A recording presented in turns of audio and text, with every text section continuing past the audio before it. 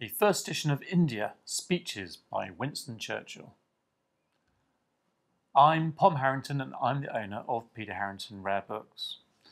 Um, here today we're fortunate enough to have both issues of Winston Churchill's publication on India. Um, as it says, it's a series of political speeches on the subject matter, but from a book point of view, there were two issues of it.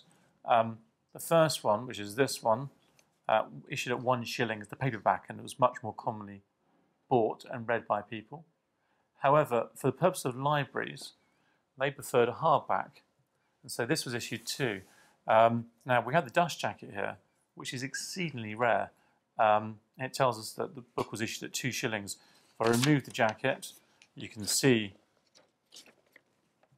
the hardbound case binding. Um, libraries wanted hardbound copies because they were more durable um, and they didn't want paperbacks, so that's why it was done. Um, in collectible terms, um, the hardback and jacket is one of the great rarities in Winston Churchill collecting. Um, most people are normally accustomed to seeing just this one.